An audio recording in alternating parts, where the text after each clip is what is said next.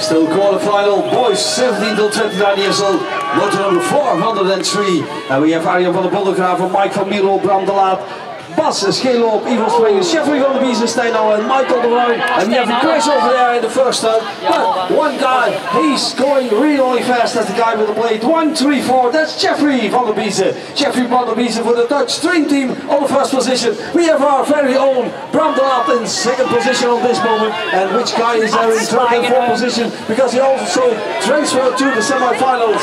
But it's Bram de Laat, he's taking over this first position in this quarter.